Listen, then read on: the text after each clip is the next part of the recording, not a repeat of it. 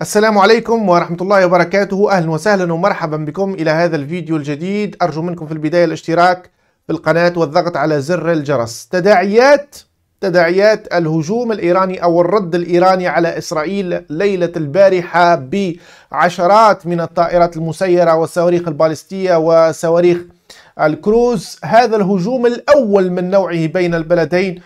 يعني كان في بما يشبه بالحرب الباردة حرب آه، ليس فيها آه، مواجهة مباشرة بين إسرائيل وإيران منذ 45 سنة. كان في يعني صدام غير مباشر. إسرائيل تقصف أو تستهدف يعني آه، قوات تابعة لإيران تستهدف قادة عسكريين.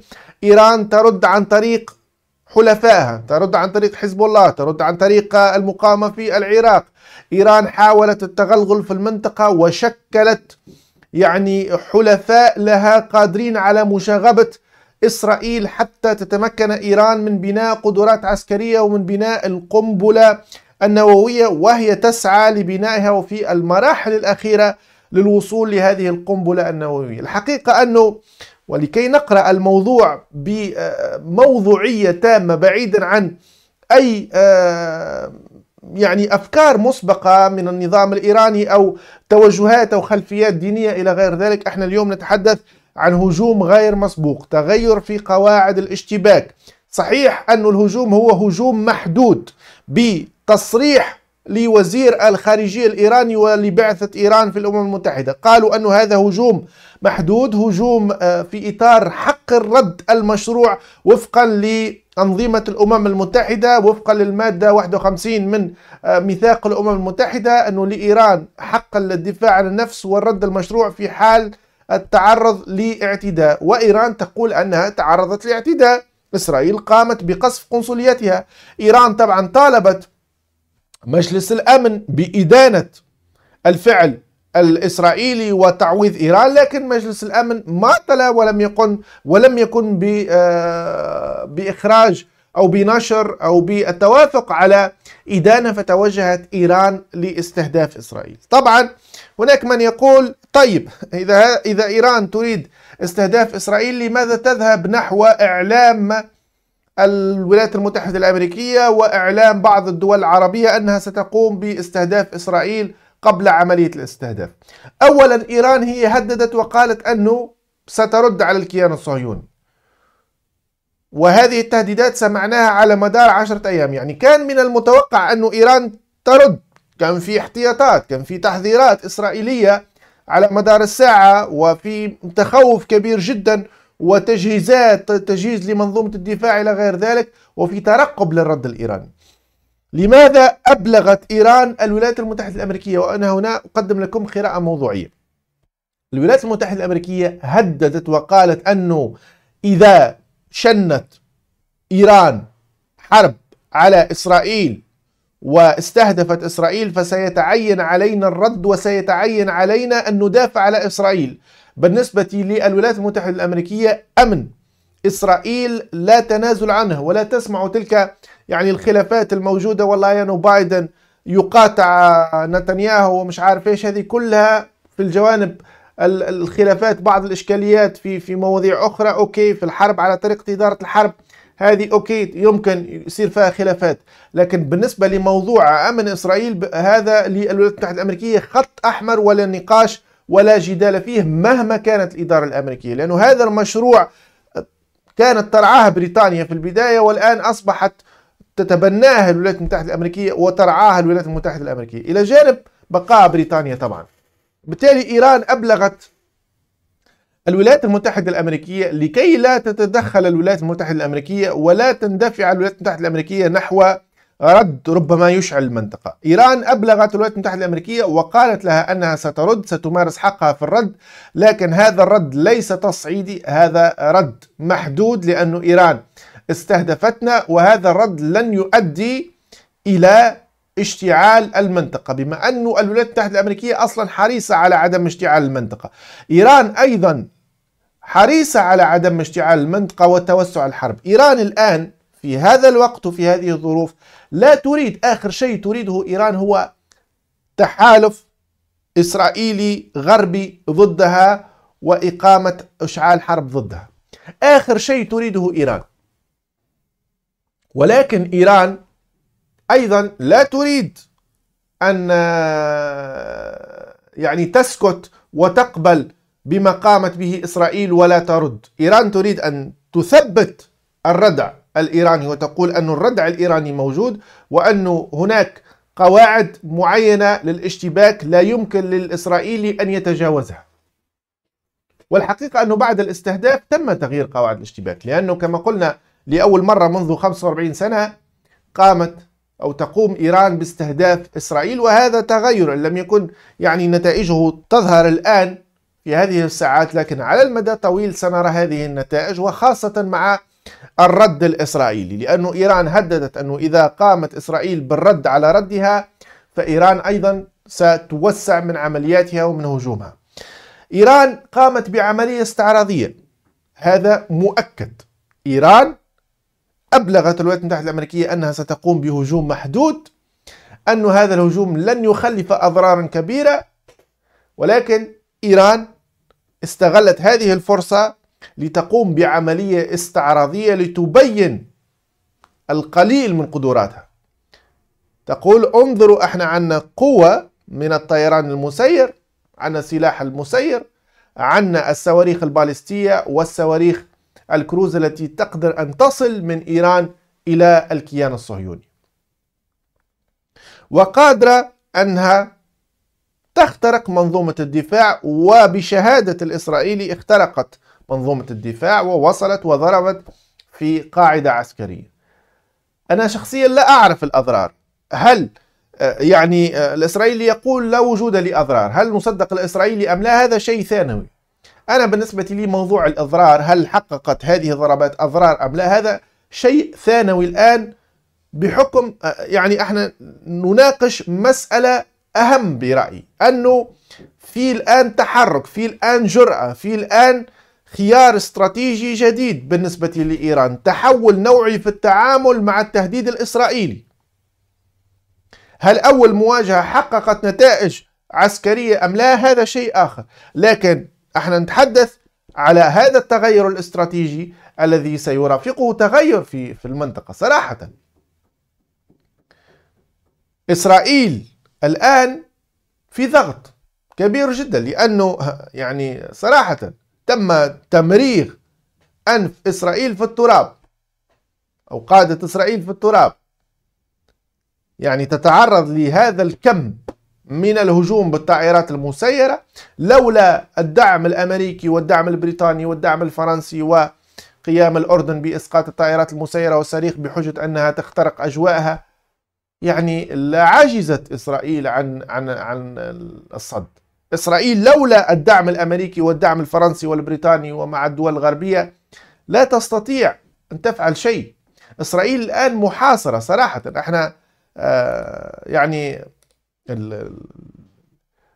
مسؤول عسكري إسرائيلي يقول إحنا تعرضنا لهجوم مركب. حسب قوله من إيران من العراق من سوريا من اليمن. يتحدث على يوم أمس. ومن لبنان.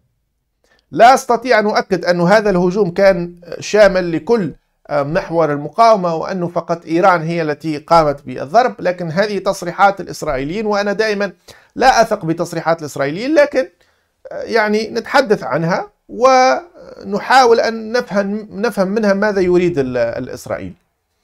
هنا يعني صراحة هذا يعتبر حصار لإسرائيل اليوم. آه، إسرائيل هي تريد أن تقول للعالم أنها محاصرة وأنها مهددة.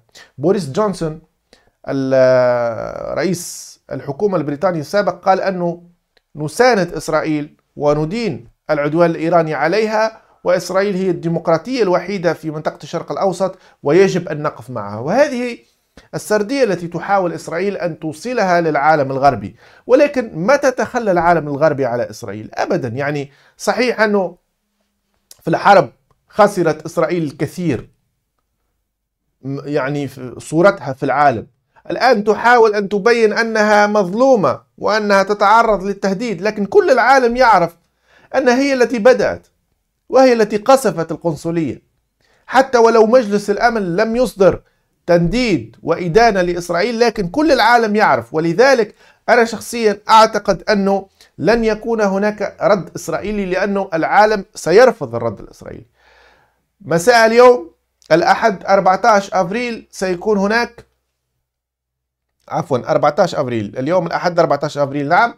سيكون هناك اجتماع لمجلس الأمن وسيكون هناك حديث على التطورات في المنطقة وسيكون هناك طلب بعدم التصعيد وتخفيض التوتر وهذا التخفيض سيشمل الحرب في غزة وضرورة وجود مفاوضات لإنهاء الحرب في غزة. بالتالي أنا شخصيا أعتقد أن إسرائيل ستبتلع السكين هذه المرة. حتى ولو نسمع في الإعلام والبروباغندا التي تقوم بها وإحنا استطعنا أن نسقط 99% من الصواريخ ومن الطائرات المسيرة. يا أخي افهموا. وهذا كلامي أيضا للناس اللي صراحة نشوف في بعض التعليقات ناس مش فاهمة. في تويتر وفي حتى في اليوتيوب. يا أخي افهموا الموضوع أنتم. ولا تنخدعوا بالرواية الإسرائيلية أرجوكم. حتى ولو كان عندكم خلافات مع إيران لا تنخدعوا بالرواية الإسرائيلية.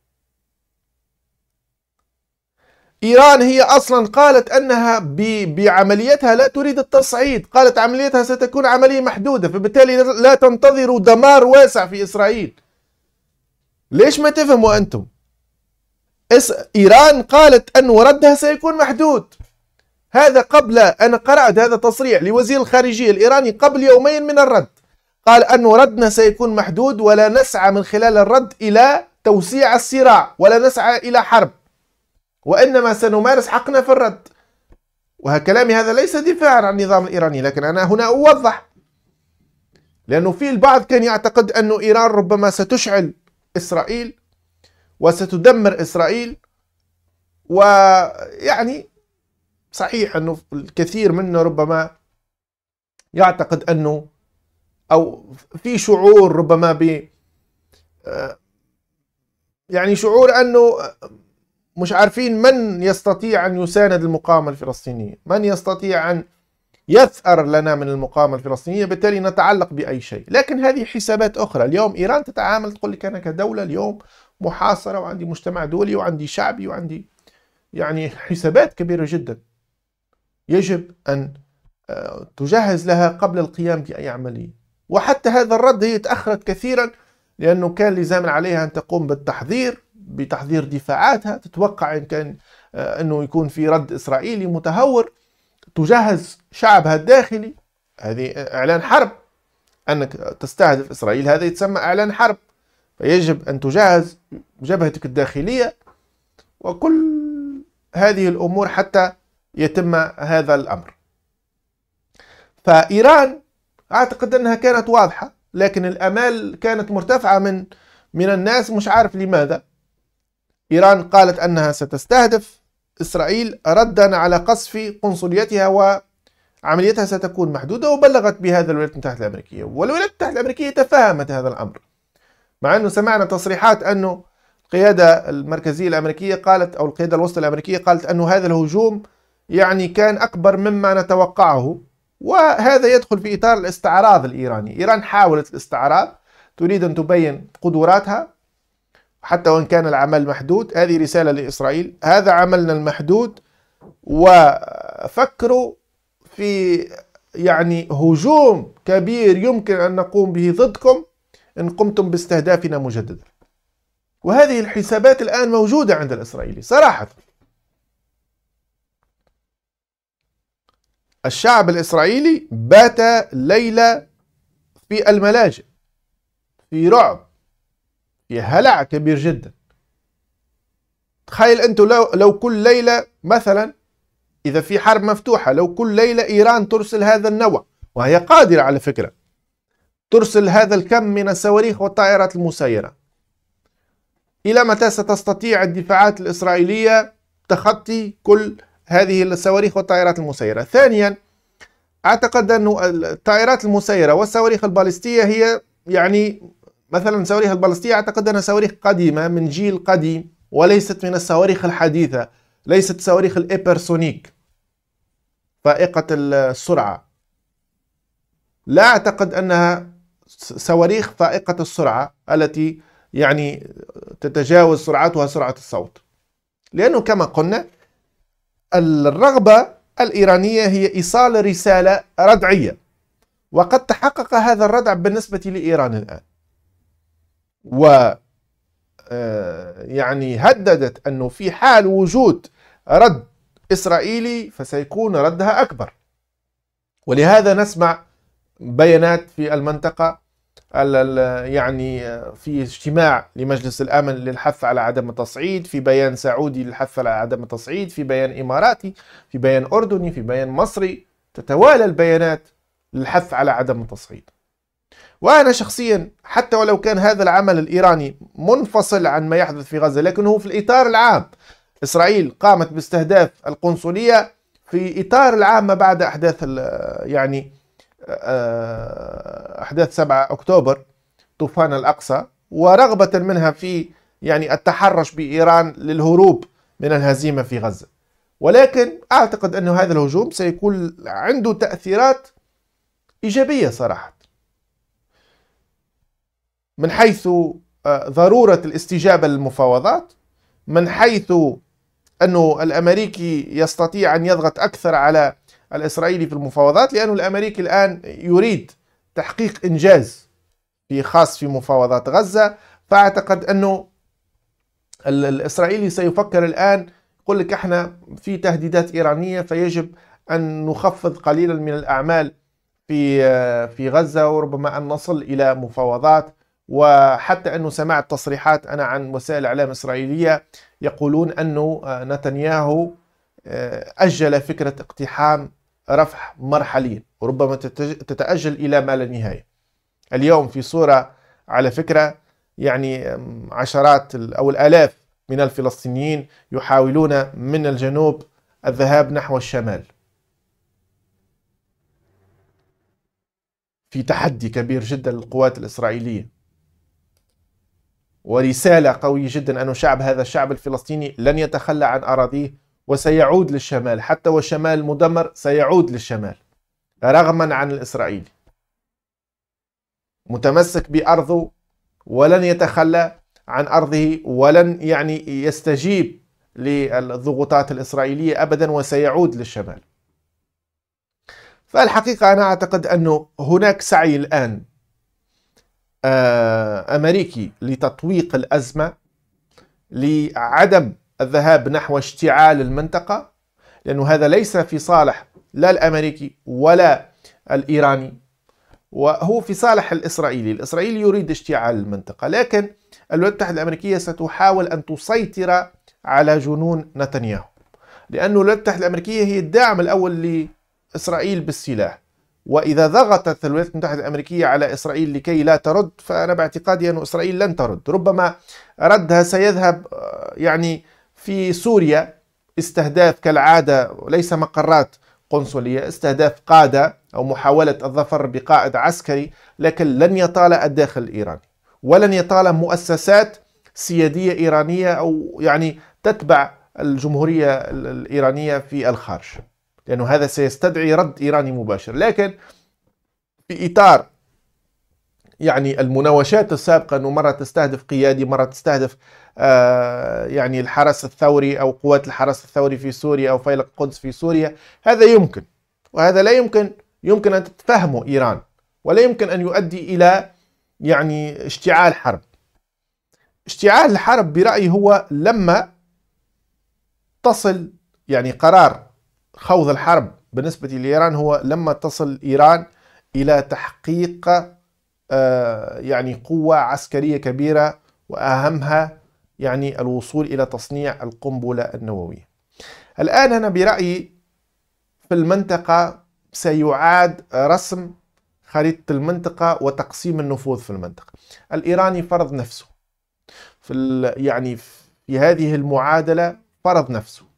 مضيق هرمز آه، يعني آه، عنده حلفاء في المنطقة يستطيع أن يستهدف إسرائيل يعني فرض نفسه وموجود. والولايات المتحدة الأمريكية تعرف هذا. ولكن الدول الأخرى غائبة تماما. طبعا هناك من يقول لك هذه مسرحية ما قامت به إيران مسرحية. وأنا أقول أجيب بكل بساطة أنه آه، ورونا مسرحياتكم أنتم. أعطونا أنتم أيضا مسرحية. الإيراني قام بمسرحية. أعطونا أنتم أنتم مسرحية. أنا شخصيا أعتقد أنه إحنا الشعوب العربية يعني مش عارف كيف كيف نوصل لكم المعلومة لكن لأنه ربما عاجزين عن فعل أي شيء فحتى من يقوم بشيء نقول نشكك في فعله. صراحة. أنا ماذا أنه الشعوب العربية أنه تسأل نفسها ماذا فعلت؟ ماذا فعل قادتها؟ خلونا من الإيراني الإيراني يريد أن يعمل مسرحية يعمل مسرحية. أحنا ماذا فعلنا وماذا سنفعل؟ هذا هو السؤال. هذا ما حبيت نقوله شكرا لكم وإلى اللقاء.